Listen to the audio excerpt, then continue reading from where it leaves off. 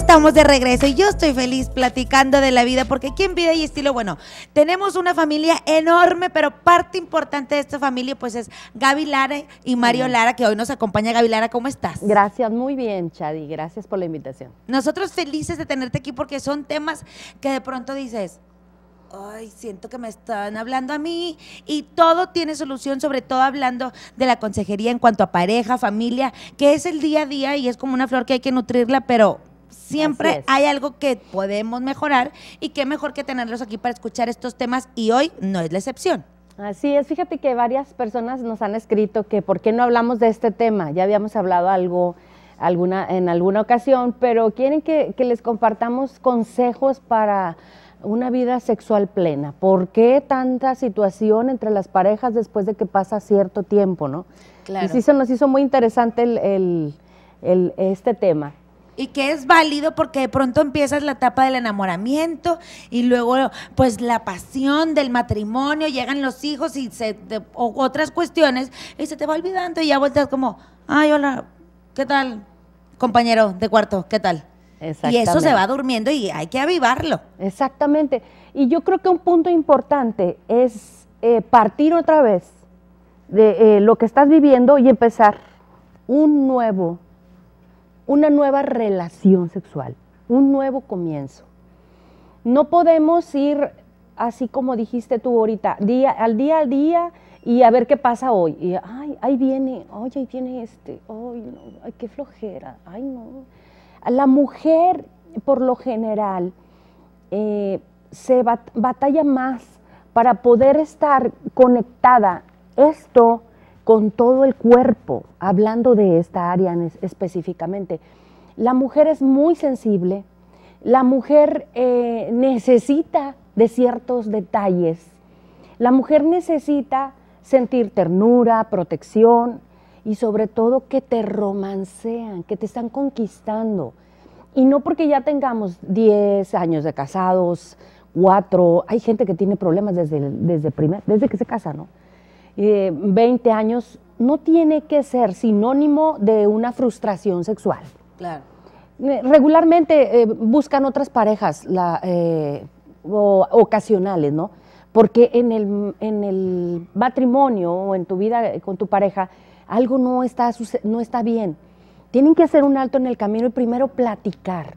Si, no, si usted no tiene eh, la confianza, si no tiene la valentía de detenerse y decirle, sabes que algo está mal, o sea, yo no quiero, yo no quiero, no, no, me apetece, no tengo apetito sexual. Y no, es quiero, que no te quiera. y yo te amo y te quiero, pero algo pasó y algo. Entonces ahí es donde empezamos a ver, a ver, qué síntomas son, por qué. ¿Por qué llegamos a esta situación? Ese es el nuevo comienzo, detenernos, pedir ayuda o hablar los dos. ¿Qué necesito yo? ¿Qué quiero? ¿Qué necesitas tú? ¿Qué quieres? ¿Qué te gustaría? Claro, y sobre todo entender que, bueno, los hombres son más visuales y las mujeres somos más auditivas. No es ejercicio, muchachos. O sea, que es, la hora del ejercicio, claro que sí. No, como dices, oye, vas al gimnasio y haces una rutina y ah, sudes y listo, y está invítenos a cenar, aunque llevas hoy y dices, pues es que mejor ya cenamos aquí en la casa, pues no es lo mismo. Exactamente, y hay otros detalles que no, no tiene por qué ser costoso, o sea, una llamada, un mensaje. Una flor. Miren, simple y sencillamente, si arreglamos nuestros conflictos de la mañana, de la tarde y de un día antes, y si nos pedimos perdón por lo que hicimos incorrecto, vas a ver que empieza a fluir algo ahí pero ¿cómo es posible que eh, una de, la, de, la, de, ambas partes llega y, se le olvidó que insultó a la otra persona, que la hizo sentir mal, que la humilló con algún comentario delante de la gente o en privado, y llega y como si nada, ¿no? Y es muy típico de los hombres.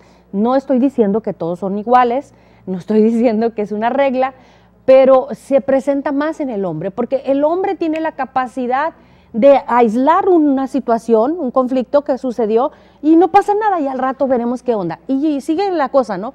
Y la mujer piensa, le valió, le valió un gorro que, me dijo esto. en el drama desde las 10 de la mañana y... Y cuando, tú, y cuando tú le preguntas, este, ¿qué? ¿Ya no te acuerdas? ¿De qué? ¿De qué?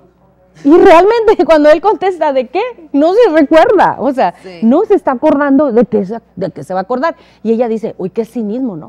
que sí mismo. Entonces, una mujer no funciona al 100% si trae una herida, si trae una incomodidad o un conflicto en contra de su, de su pareja. O sea, hay como frialdad que de pronto, no porque no hay amor, pero simplemente la rutina del día a día, ¿cuántos caballeros llegan a su casa después de trabajar?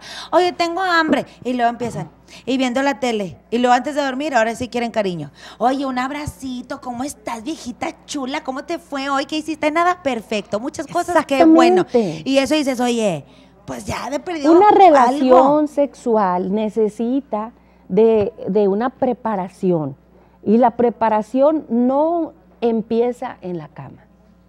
La preparación para el amor no empieza en la cama. O sea, quítense esos estigmas, quítense esas ideas preconcebidas. el amor, hablando del amor sexual, empieza desde todo el día, desde la mañana, desde un día antes. O sea, no quieras llegar y decir, que al cabo, al cabo tiene. Aquí llego, ya llegué, ay, qué padre. No, así no es. Así no es, o sea, así como la conquistaste o así como tú lo conquistaste un tiempo, hace mucho tiempo o hace poco tiempo, así necesitas estar conquistando a tu pareja cada día. Si ambos están haciendo esto, pues, oye, sería maravilloso. Tenemos que ser responsables en esta área de nuestras vidas, porque esta área y el área de las finanzas es primordial. Eh, hace que nuestra vida como pareja se, se, vaya a, Y ahora, Gaby, ¿qué pasa también como, como, como mujeres? Porque también hay muchos, muchos hombres, muchos caballeros que son súper cariñosos y se desviven por su esposa, por su pareja, pero la pareja dices, oye, te casaste de 50 kilos, vas en 70, y luego antes te arreglabas, y ahora pues así, guandajona es así, así, como se dice. Que dices, oye, el esposo bien guapo y, muy cuidado y muy conservado para su pareja, pero la esposa, y, es que los tristemente, ay, no. Tristemente, Shadi, eh, eh, o sea, la, la, mujer muchas veces, porque a veces es la mujer, a veces también es el hombre, pero, pero ya que los niños y todas las cosas, y ya piensa que ya, o sea, como él, tú le gustas a tu marido, ya no tienes que hacer nada. Definitivamente, o sea, tiene muchísimo que ver que él llega y ve a una señora con la bata llena de grasa porque le salpicó el aceite que estaba haciendo de comer y no se ha peinado, no se ha bañado. No se ha bañado, sí. Oye, ni siquiera se lavó los dientes y llega, oye, no creas que es fácil ponerte romántico ante una imagen de ¿Qué muñecona? No, pues no. O sea, dices. Es la verdad. Sí, claro. Y, y no importa si no trabajas, no importa si no hay mucho dinero, o sea, con lo que tú tienes, tú puedes estarte arreglando todos los días. Es que no voy a salir. Ese, es el, lema de mucha gente, de muchas mujeres, ¿no? Es que hoy no voy a salir, entonces, ay, así me ando, así me ando como sea. No, es que, es que estás conquistando a la persona que te quiere ver. Qué importante es eso, cambiar esa perspectiva. Se nos termina el tiempo, pero después seguimos con el próximo programa. Claro. Y me gustó eso cerrar con hay que seguir conquistando a la pareja. Besos al chinos. Ay, muchas gracias, Gavilara, por estar con nosotros el día de hoy. Llamen para citas. Claro, ya lo saben que miren, no hay mejor opción que tener una asesoría desde el corazón porque todos somos seres humanos y de pronto tenemos áreas de oportunidad y hay que ponerle solución. Muchas gracias, Gaby Lara. y nosotros continuamos con mucho más aquí en Vida y Estilo porque ya nos vamos al otro lado del estudio porque mi compañera Cintia Leal ya tiene un tema muy interesante con la licenciada Graciela Cabello.